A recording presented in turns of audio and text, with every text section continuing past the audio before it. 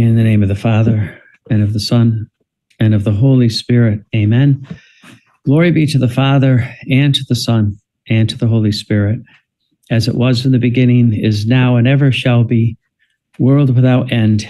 Amen. Our Lady, Queen of all saints, pray for us.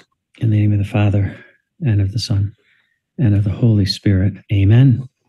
So today we're going to uh, listen to two ta- it's two um, uh, uh, documents on Our Lady uh, and our Lord speaking about Christmas. Uh, the first one is volume 8, December 25th, 1908. How to make Jesus be born and grow in your heart. So, the whole reason for the birth of Jesus is that he becomes alive in us. He wants us to be to be one with him. So Luisa starts by saying, uh, finding myself in my usual state. Now, Luisa's usual state was suffering and heaven. Uh, she could go to heaven throughout her life. You know, Jesus would take her to paradise. He'd take her to the to the Garden of Eden. He'd take us here. He'd take her take her to uh, back to Bethlehem, where she could witness the birth of Jesus. See, there's no time or space in the divine will. And what what's so beautiful about this way to pray is Jesus says, I give the gift of bilocation to my children in the divine will. It's not the bilocation of the saints. Jesus takes us where he wants to take us. Like he would take Luisa every night and tour the universe with Luisa. And when you get to Corato, you'll you'll notice that her socks are stained, they're dirty, and they're ripped. They got holes in them.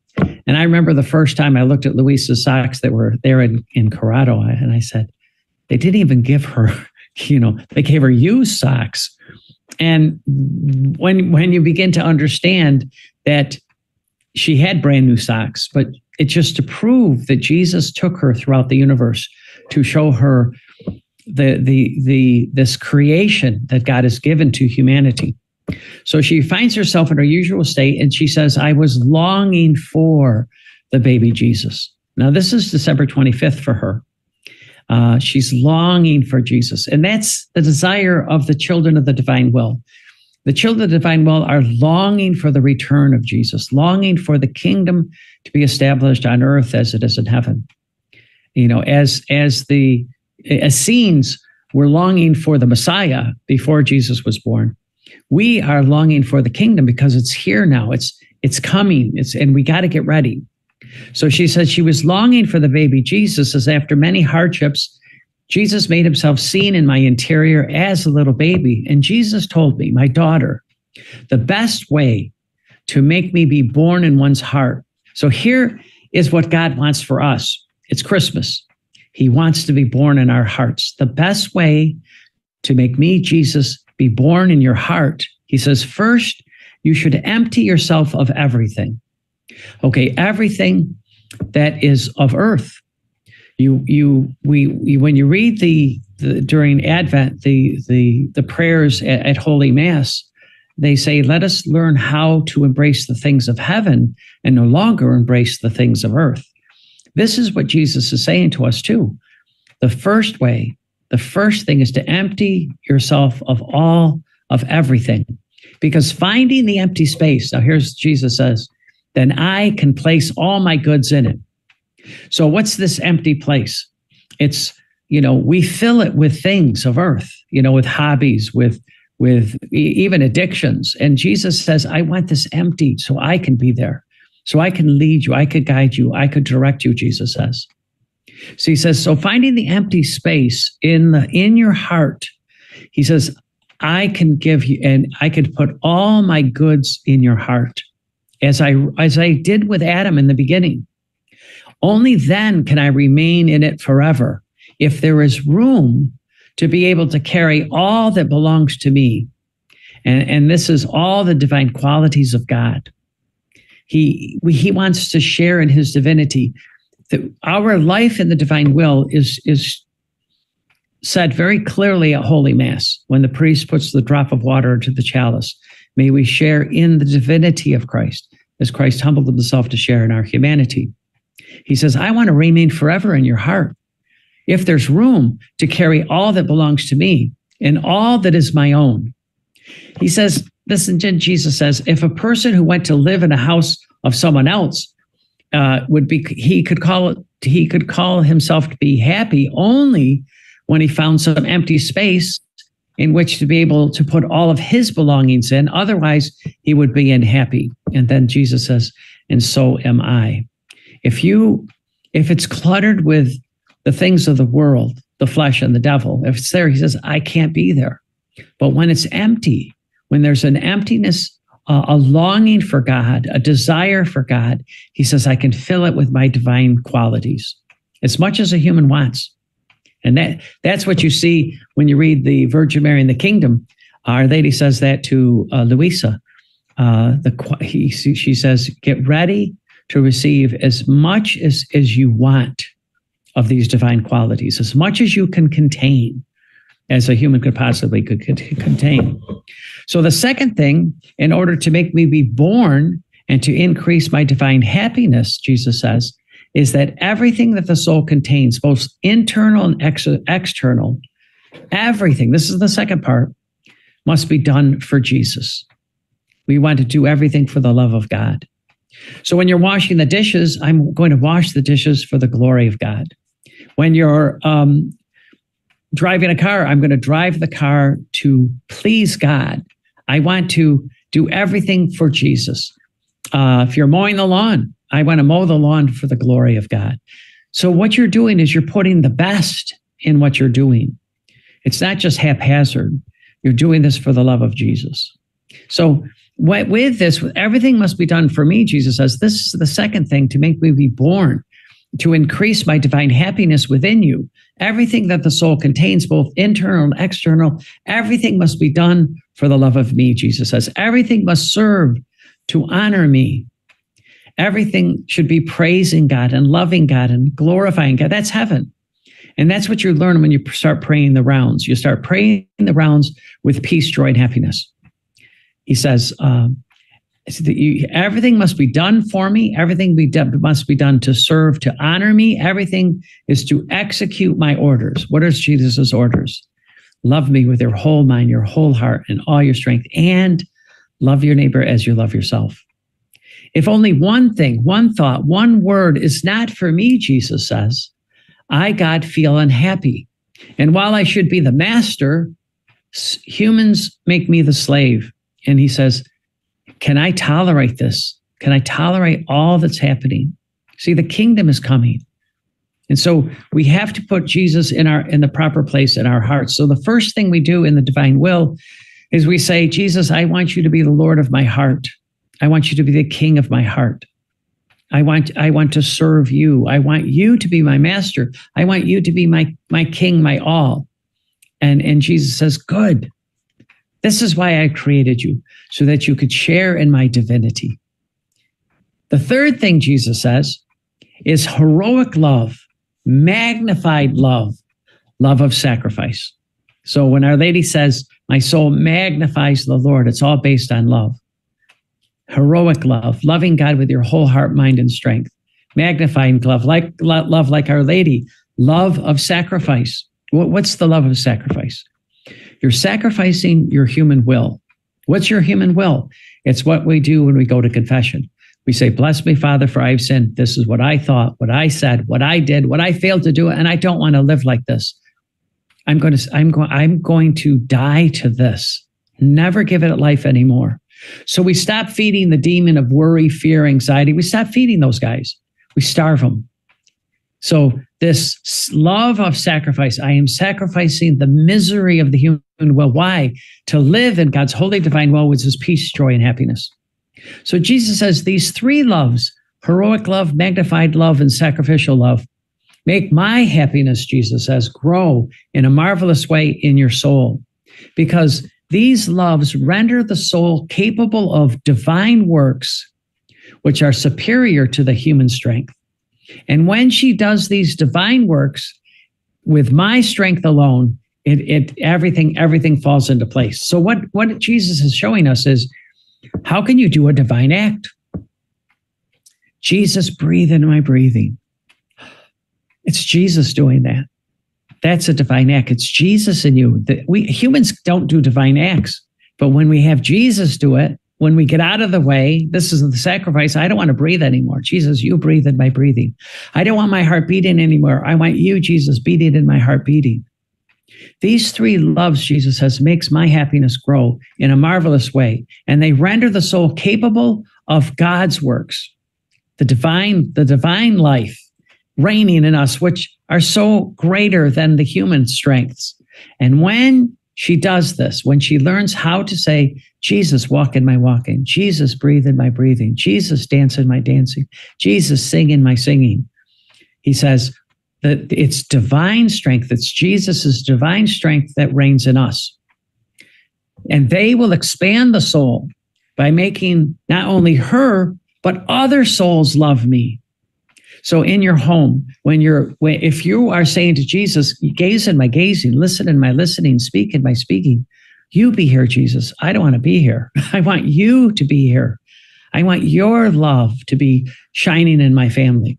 Others begin to fall in love with Jesus. Why? There's peace, there's order, there's joy in your house. And, and that's what God is asking. And the soul will reach the point of enduring anything, even death, in order to triumph in everything and to be able to say to me, Jesus, I have nothing else. Jesus, everything is only love for you.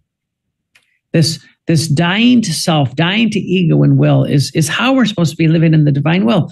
Our focus has to be on God and God alone. This is what God is waiting for. It's a new and divine way of holiness that John Paul II prophesied uh, about at the canonization of St. Annibale de Francia. In this way, Jesus says, the soul will not only make me be born, but the soul will let me grow. The soul, the soul will form for me a beautiful paradise, a beautiful heaven in her heart for me to reign there. And as he was saying this, Jesus, Luisa says, I looked at Jesus, and from little, in one instant, he became big in such a way that I, Luisa, remain completely filled with Jesus. We're getting a glimpse of, of what's going to happen with us when we receive Holy Communion. Jesus says, wait to see the, the power and, and the, the, the miracles that are going to happen when the souls begin to live in the divine will. He says, I want to fill the soul completely with, with, with me, Jesus says. I want your skin to be my uh, like a veil. Or uh, I want your skin to be uh, like a veil over my body. I want to gaze in your gaze and listen in your listening, speak in your speaking. Because he says in volume 36, I created the senses for humanity for God. God wants to gaze in your gazing. God wants to speak in your speaking. God wants to listen in your listening. And when we begin to learn this, our families become joyful, happy, peaceful. Why? Jesus is there. Now, now we're going to hear from Our Lady. Now, Our Lady is going to talk about what happened when Jesus was born. The Queen of Heaven and the Kingdom of the Divine Will. This amazing book that uh, read it during uh, May and, and, and October. Those are two of Our Lady's months.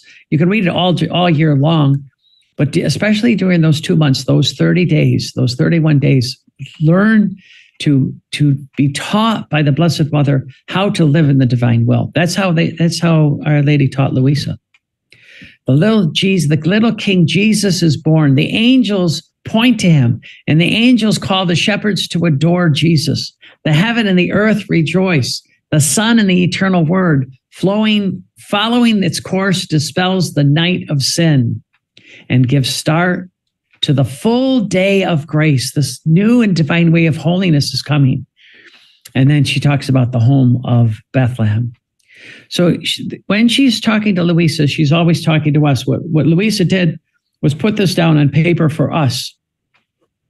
So the first thing Our Lady says to us is, My dearest child, oh, how I long for you to come into my arms, to have you, to, to have the great commitment of being, being able to say to our little baby King Jesus, Don't cry, my pretty one.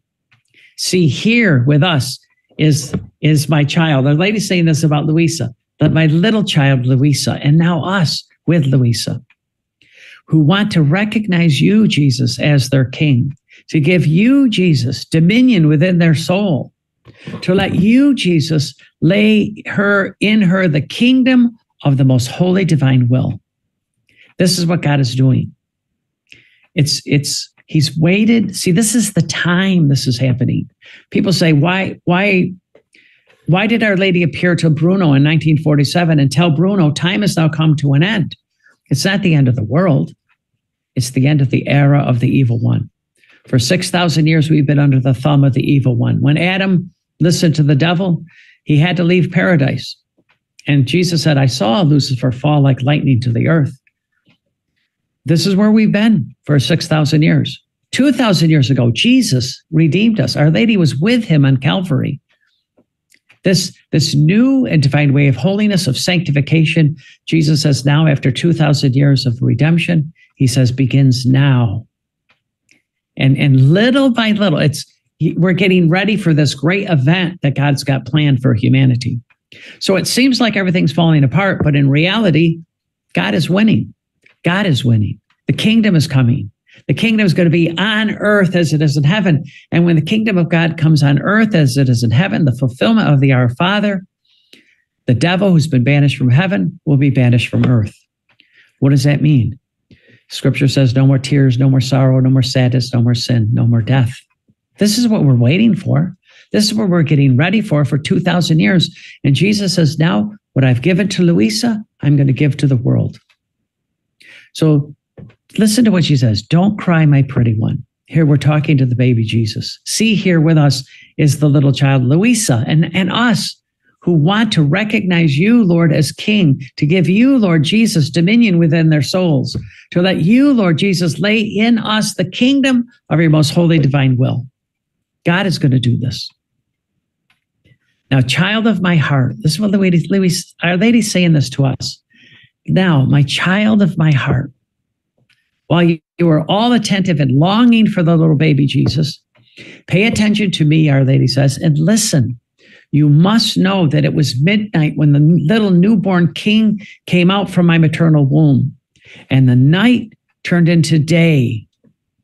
And the one who was the Lord of light, of life, of love, put to flight the night of the human will the night of sin, put it away, the night of all evils. And as a sign of what he was doing in, in the order of souls with his usual omnipotent fiat, the midnight, listen to this, turned to the most refulgent daylight.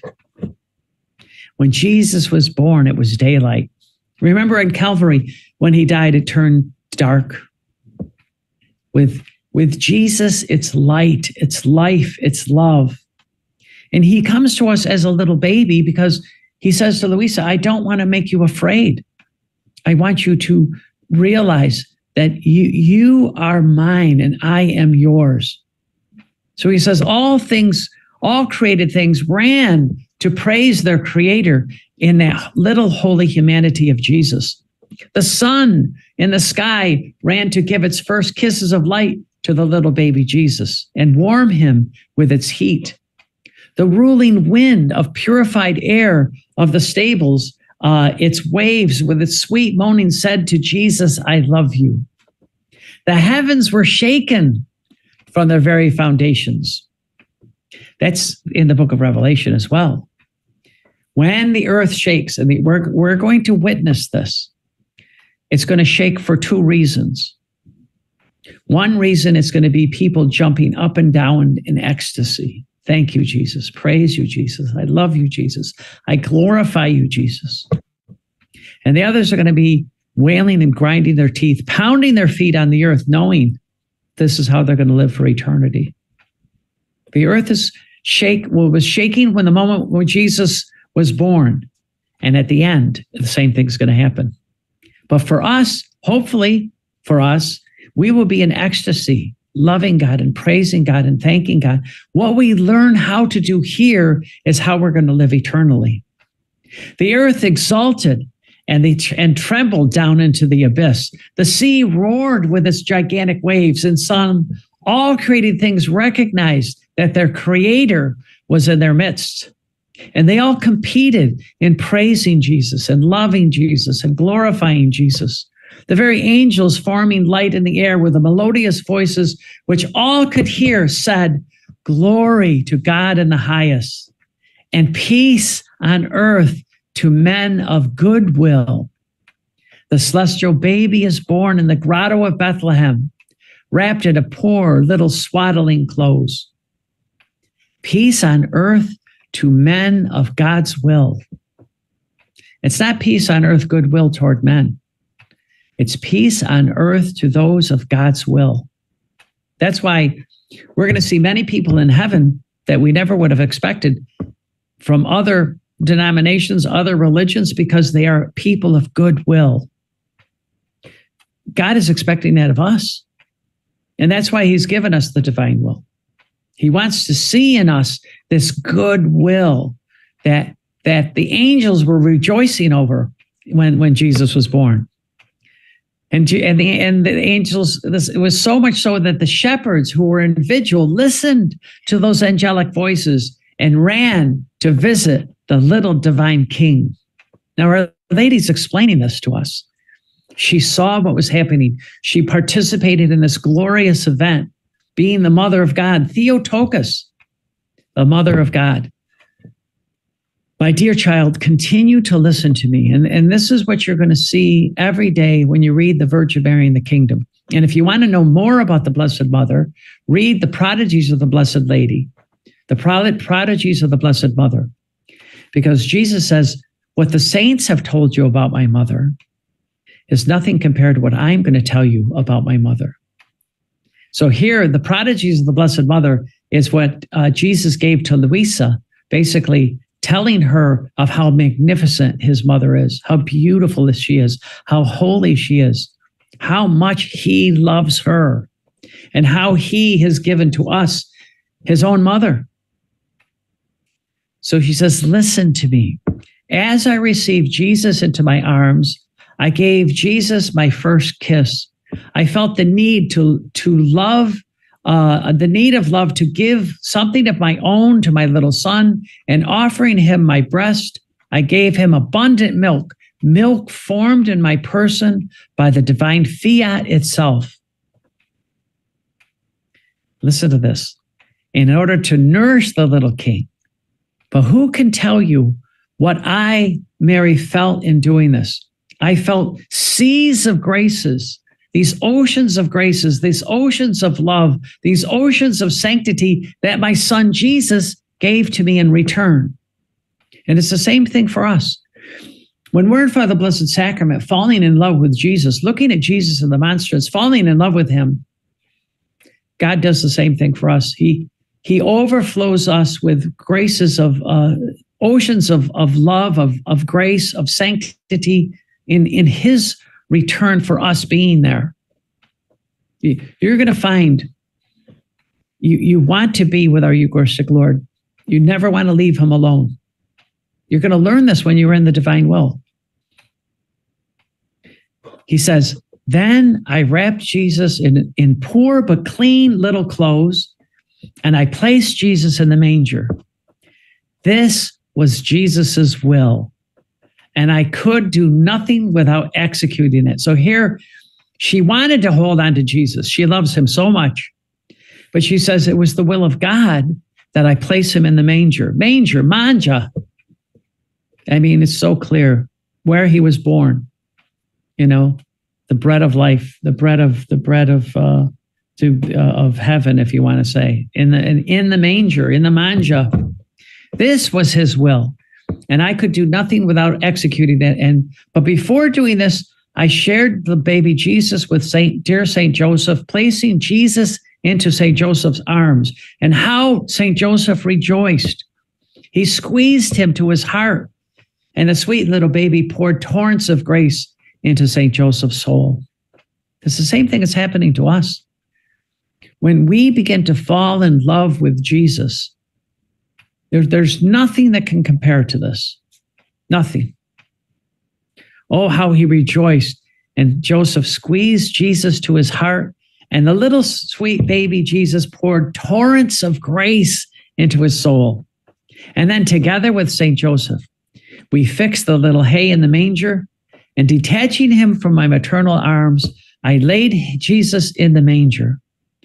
Your mother, enraptured by the beauty of the divine fiat, remain kneeling before Jesus most of the time. I put all of the oceans, these seas of love into motion, which the divine will had formed in me to love him, to adore him, to thank him. See, we're going to learn from Our Lady how to fall in love with our Eucharistic Lord.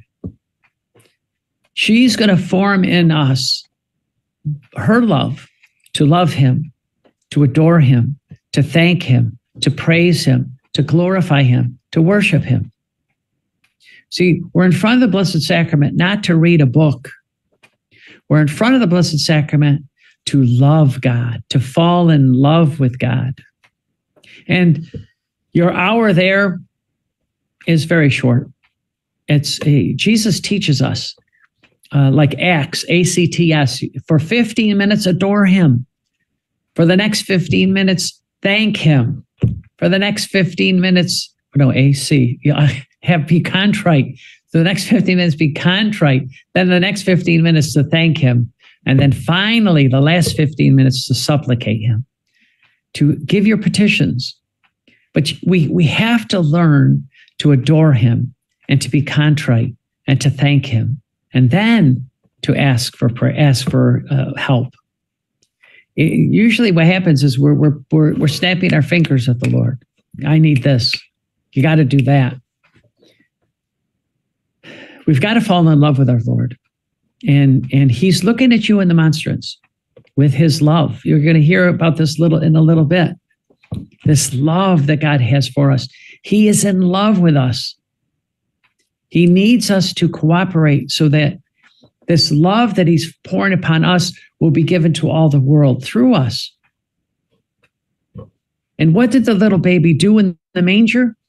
It was a continuous act of the will of our celestial Father, which was also Jesus's will. So his moaning and his silence, sighing, his wailing and his crying was calling everyone, saying in his loving wailing, Come, all of you, my children. You're my children. You're children of mine. For the love of you, I am born to suffering and to tears. You have to understand right from the beginning, he came to redeem us. He came to take our place, our punishment. Come, all of you, to know the excess of my love.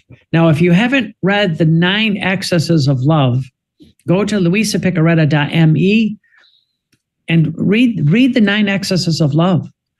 St. Annibale de Francia, Luisa's spiritual director, said, uh, This is so good for the soul to understand how much our God loves us, how much our God desires us, how much our God has got plans for us.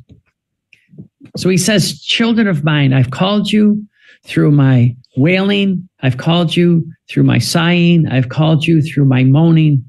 I've called you through my crying. I've called everyone. Come, all of you, children of mine. For love of you, I am born to suffering and to tears. Come, all of you. I want you to know the excess of my love. So read the nine excesses. This it's just it's just astonishing. You're, you're going to learn so much that mm, uh, the Blessed Mother is going to teach us and our Lord Himself about this birth of Jesus. Give me shelter in your hearts. And there were shepherds coming and going to visit Jesus. And to all, Jesus gave his sweet gaze and his loving smile, even within his tears. That's what that's what you're going to experience in front of the Blessed Sacrament. The sweet gaze of Jesus, his loving smile, and his tears. He knows humanity. He knows many are on the edge of the abyss. And he's asking us to repair that for them.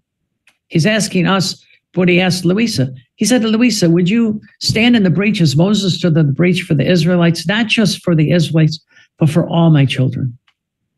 All those with strong human wills who are on the edge of the abyss, who are ready to fall into hell. And again, there's no time or space. You could touch somebody a thousand years ago and a thousand years from now in the divine will. Help them choose God. Repair their life. Well, how do you repair the life of, of souls? First of all, you look at your own life and you're sorry for what you thought, what you said, what you did, what you failed to do. And I'm sorry for what all my brothers and sisters have gone through, which was has, has offended you, God, sinned against you, Lord. And Lord, have mercy on us all. Have mercy on us all. It, to understand the illumination of conscience, Jesus tells Luisa basically, learn learn the the the, the book of heaven, learn this diary of Luisa. He's going to help you get through what's coming. And it's going to be tough. It's going to be very tough, but it's nothing to be afraid of. We were born for this time. We are not afraid. God is with us. Those are the words of Saint Saint Joan of Arc, a 16-year-old girl who led an army into battle and defeated another army. The battle we're in is between principalities and powers. And God is asking us to fight with the angels. And how do we fight? It's fighting with love. And who do we love? We love who God loves, and He loves all the children of God, and He wants everyone to be saved. So He's asking us to pray so that we can repair and redo. And that's the prayer to the Holy Spirit. Come, Holy Spirit, fill the hearts of your faithful Catholics and kindle us the fire of your love, which is the divine will. Send forth your Spirit, and we will be recreated. And then you, Holy Spirit, will renew the face of the earth through us. We're going to repair and redo in the name of everyone and everything, past, present, and future. So, Jesus, when we're in front of the Blessed Sacrament, he knows what he's asked of us, and he wants us to begin to hear. So, he will give us his sweet gaze, he will give us his loving smiles, even within his tears, sharing with us this, this, the sorrow that's going on in the world right now. So then Jesus says, Now, my child, uh, this is Our Lady. Now, my child, a little word to you. You must know this. And if you haven't read the, the book, You Must Know, go to luisapiccarreta.me and start reading You Must Know. He, she said, My whole joy was to hold my dear son Jesus on my lap. But the divine will made me understand that I, as his mother, should place him in the manger at everyone's disposal so that whoever wanted could caress him, could kiss him, could take him in their arms. And if he were there, as if he were the, their own child, their own baby, he was the little king of everyone. And therefore, they had, we had the right to make of him a sweet pledge of love. So this, this, you're going to see at, at Christmas Eve tonight, you're going to see uh, the Pope kiss the baby Jesus, the, the little, the little um, uh, image of, of Jesus. And Jesus said to Luisa, uh, I will, I will accept you kissing, kissing the cross kissing his wounds, kissing the baby Jesus as if you're actually kissing me. And, and this is the thing that helps us understand how much he loves us. Jesus says, I, Mary said, I have to put everyone, I have to give Jesus to everyone at their disposal. Whoever wants could kiss him, could caress him, could take them in his arms as if they were his own child. And if the little king of all, therefore, uh, he he's given us the right to make of Jesus the sweet pledge of love. And this is what we're doing for Christmas. We're telling him how much we love him. We're thanking him for coming to earth. And we promise him that we will not abandon him. And she says, And I, the Blessed Mother, in order to fulfill the supreme volition to pride myself of my innocent joys, beginning with works and sacrifices, the office of a mother, giving Jesus to everyone. My child, the divine will is demanding. This is this is this is what you have to understand. God has given us a duty and a responsibility by giving us the, the diary of Luisa, by giving us the book of heaven. He's asked he's asked us to um, be open to this duty that he wants us to possess. So Our Lady says, My child, the divine will is demanding, it wants everything, even the sacrifice of the holiest things. And according to the circumstances, even the great sacrifice of depriving oneself of Jesus. You're going to you're going to understand that as you as you really begin to read the diary. The great sacrifice of depriving yourself of Jesus. God is going to teach us how to live the, the true life of, of Mary, the true life of Jesus. The new Adam, Jesus, and the new Eve, Mary. And it's the great sacrifice that they went through. Our Lady, you know, a short time after Jesus was born, saw that Herod killed the holy innocents.